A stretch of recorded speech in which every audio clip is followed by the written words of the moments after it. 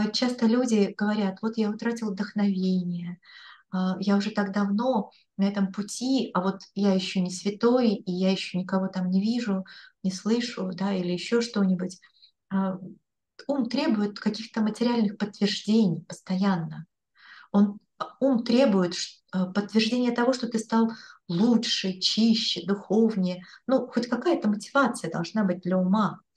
Но мы должны понимать, что все это игры ума, что остаться на этом пути можно только с помощью разума. Вот этого чувства внутреннего, глубокого чувства долженствования.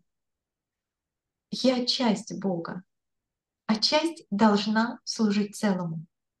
Жить этой аксиомой, аксиомой разума.